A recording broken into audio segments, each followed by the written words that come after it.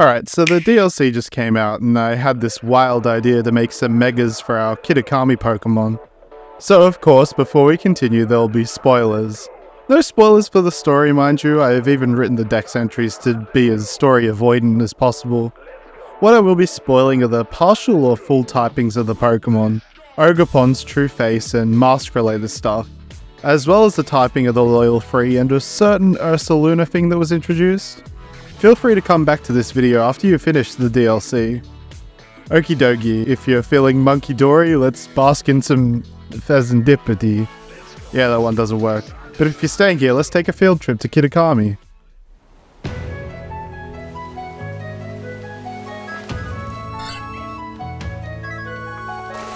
Let's begin with our loyal three. We've got our nerd, our jock, and our most beautiful boy in all of Kitakami. But let's begin with the goodest boy, Okidogi.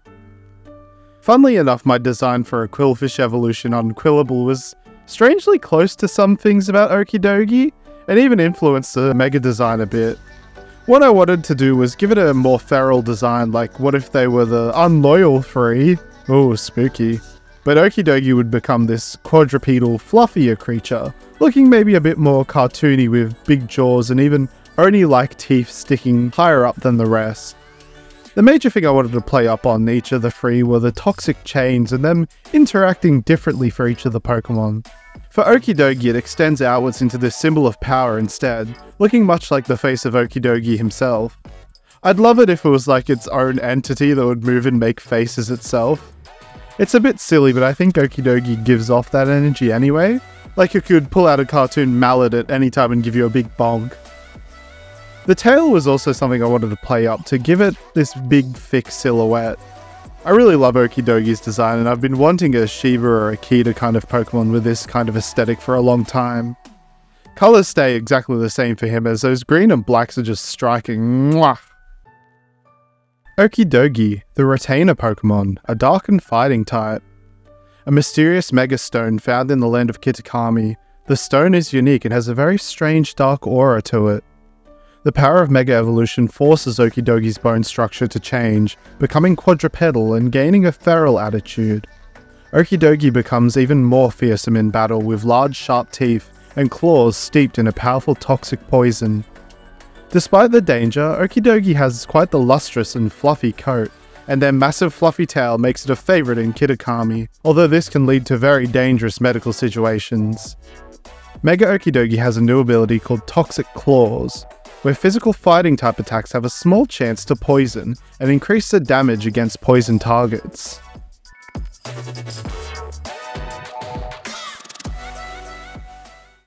Apes! Together! Strong! Next we're gonna do some monkey magic with Munkidori. I love the shape design on Munkidori and its whole look and being a bit of a crafty Pokemon, it gave me this idea for an almost Beast Paradox Slowpoke look to it.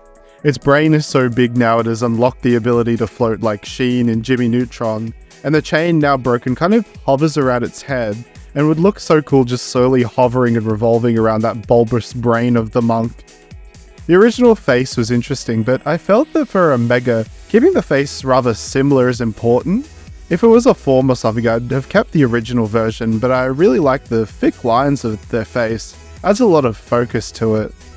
To make it seem like the head is just bursting outwards with big brain energy, I used the skin color blue to sort of transition into the black fur, also allowing me to change the swells on the head to a darkish purple that wouldn't stick out a bit too much. I also changed the mouth to fit a little more Munkidori. It looks crafty still, but now it's pondering how best to attack you. Mega Munkidori, the retainer Pokemon, a dark and psychic type. A mysterious megastone found in the land of Kitakami, the stone is unique and has a very strange dark aura to it. Upon evolution, Munkidori's mind expands, both mentally and physically.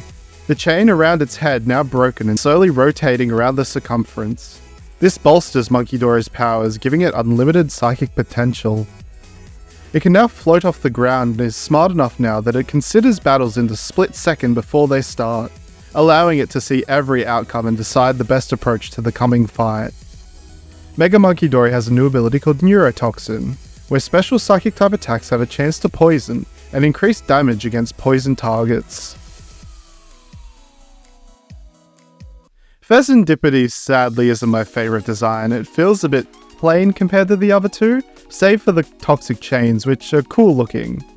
For their Mega, however, I wanted to play up a more regal role, giving it a sort of full length kimono shaped to the wings, draping all the way down and covering the body, while the toxic chains cross the wings as an obi belt and ending in a sort of bow that combines a fan shape with the bow that it'd probably have control over for its attacks. I changed the head a bit to have a more traditional Japanese hairstyle and added in some little yellow parts, being almost Kanzashi-esque stand-ins. I ended up changing its stance quite a bit as it felt very unbalanced, but in the end I think this would be an interesting foil to the other two, looking a bit more passive in its stance, but it'd be just as feral and deadly. Mega the retainer Pokemon, a dark and fairy type. A mysterious megastone found in the land of Kitakami, the stone is unique and has a very strange dark aura to it. Once Fezandipiti undergoes Mega Evolution, its wings become like a long outfit, obscuring the rest of its body, and the toxic chains become part of its ephemeral beauty, but also serve a different purpose, working like fans that help spread the mystic fairy energy. It walks through the villages of Kitakami, spreading a strange mist, that anyone who is enveloped by it falls asleep and finds their life force drained. It has become a folklore legend.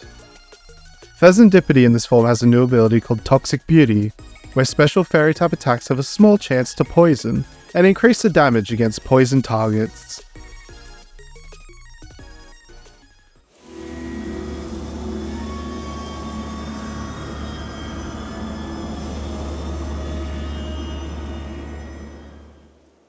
Alright, another warning, it's Ogerpon time. I'm going to talk about its mask as well as its unmasked face, so keep in mind that as we go in. I love Ogerpon.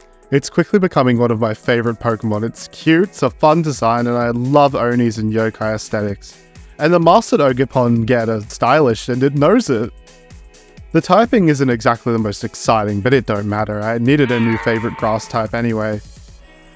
But let's talk about the Mega. In the Mega, I wanted a from below shot of an unmasked Ogerpon kind of leaping in with joy to hit with a kick. The actual main body isn't changed much, except their head spikes are longer and more deadly. What really changes about it is the little head vine that it normally utilizes in the regular form now becomes a four-pronged vine that sticks to each of the masks. So instead of it being able to hold only one, it holds four, and would have an ability that switches between them all during battle. Maybe the base mask could keep it as a pure grass type. Sadly, I couldn't show all four, so I decided to put the cornerstone mask in the background and have the other two obscured. Also makes it a lot easier for me though. Colouring, I had the two arms, wings, kimono, sleeve, things, have a corner of each of the colours from the forms. I ended up colouring the gems on the teal mask using the same kind of multiple blocks of colours that the official art uses, which really made it look great, and even adding a bit of an outline of energy on the lines helped make this look like a very strong Ogerpon bristling with energy.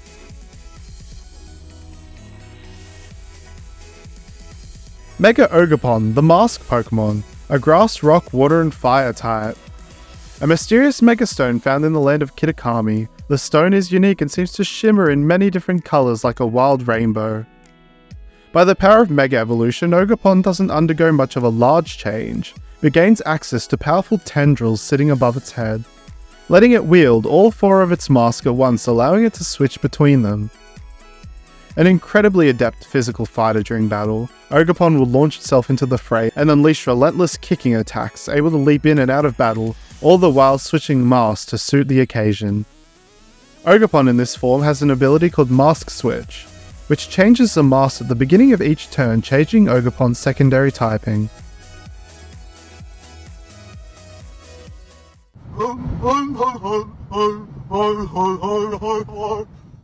Our next mega isn't Dipplin, because I mean double Dipplin already works like that. No, we're going to be focusing on Freddy Fazbear himself, Blood Moon Ursaluna. This design is just cold. Literally being like the Terminator, it's so scary. And Ursaluna by itself is actually kind of scary anyway. I thought this Pokemon would be a steel type, but it isn't, so let's rectify that. My idea was sort of a full body samurai looking Ursaluna, very similar to the Silver Samurai from Marvel Comics. The design kind of plays off what we already have, the two different eyes, one being the night vision eye and the other the red eye. The bumpy bits on the arm gave me a great idea for little bits of accents on the entire body, which also helped give it a bit of variety. I'd say it isn't the most wild idea, but I think it would be cool to see what it looks like fully covered. For colours, I gave it almost full steely silver colours, with small accents with the eyes and the fur just showing through. This thing would just be a beast with megas, straight to Ubers for you. In fact, straight to Ubers for every design in this video I guess. Mega Blood Moon Ursaluna, the peak Pokemon, a steel and ground type. A mysterious megastone found in the land of Kitakami. The stone is unique and is heavier than usual, and has a dull, steely glow. Upon transformation, this form of Ursaluna is wrapped in iron-hard mud completely, but has not impeded the unstoppable power of this Pokemon, gaining enough strength to move and attack still. Trying to penetrate the armor of this Pokemon is fruitless, unless you focus the mouth or core of the Pokemon, but even then it simply aids in enraging the Blood Moon Beast further. Entire forests in Kitakami have been bulldozed by this Pokemon's raging assaults. Mega Ursaluna has the ability Sheer Force.